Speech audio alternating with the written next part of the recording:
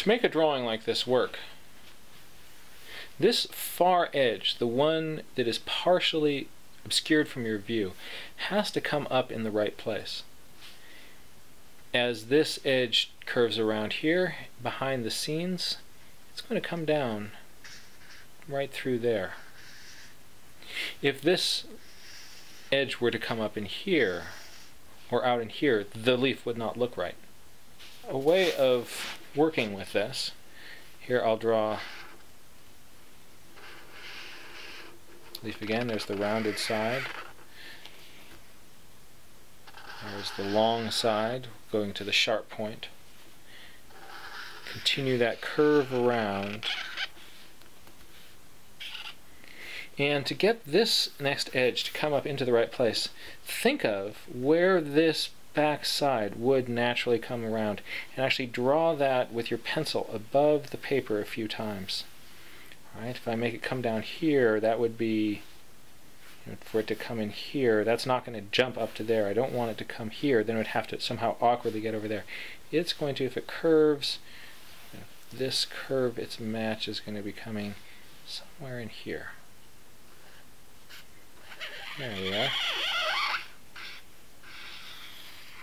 And that makes that edge line up with that. The same thing is true for the mid vein. If my mid vein is coming up here, that's going to curve around and come out somewhere back here. Just this little section in here. I'm not going to draw that all the way through, but that should be a continuous line, just like that front edge. If I draw my mid vein here, and then have this one come up here. See, there's it's hard to get from here to over here. What would that have to do? Behind the scenes, it would have to jump over there. But if instead, there, that's what I would want it to do. So use 3D vision to look at through that surface of the leaf that you can't see. What is that mid vein going to be doing back there? What is that far side going to be doing behind the scenes? There's one last trick that you can use to help get uh, a little bit of depth in a drawing like this.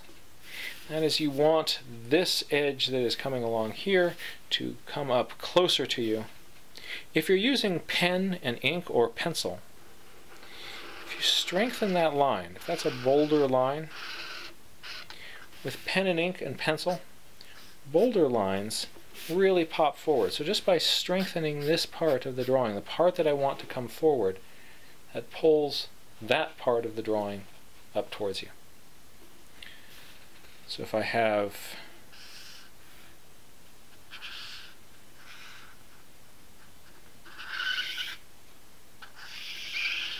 a leaf that's coming down like this. I really want this to come forward. I'm going to strengthen that edge. That's going to pull that end of the leaf towards me. So we're almost ready to start drawing a real leaf, but there's one important difference between what we see with this leaf model and a real leaf. If I take a look at a real leaf in cross section, very often I'm seeing side that comes down. There's the mid vein to a slight degree in these leaves here that are in front of me. It starts high, drops down slightly to where the mid vein is, then up on the other side. How does that look on a leaf model like this? I, I can't actually, how does that look how does that look on a leaf model? I can't actually replicate that very well with this. If I fold my leaf up to mimic that, I can no longer curl it. It becomes straight. All right, but so if I want this V, this curve to it, and have that curl at the same time, here's what that would look like. My leaf is going to be similar in starting the shape here, except that instead of that top shape being flat across the top, it's going to come down.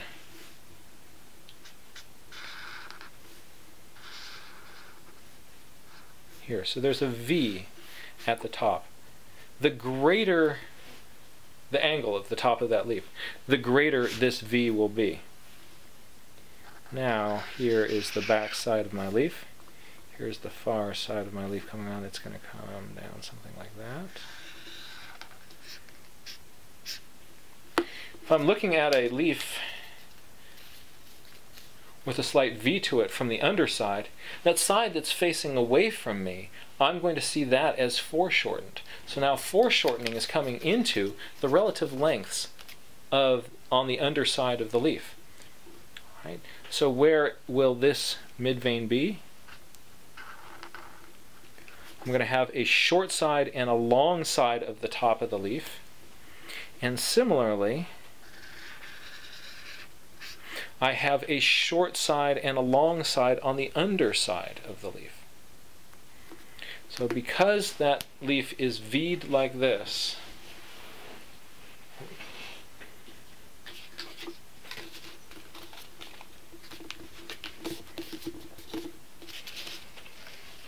So because that leaf is V'd, when you're looking at it from the underside, one side will be foreshortened more, one side will appear longer. On here, there's my foreshortened side, there's my longer side. And notice that these are reversed on the top. This side of the leaf, I'm seeing the full side of it here, it's foreshortened here, I'm now seeing the long side of the leaf and the one that's furthest away from me. That on the underside of the leaf here will be the short side. So look for this V in the top of the leaf. Look for this top surface here to be narrower than its counterpart on the other side. And on the underside of the leaf, we're seeing exactly the same thing. There's a long side and there's a narrow side.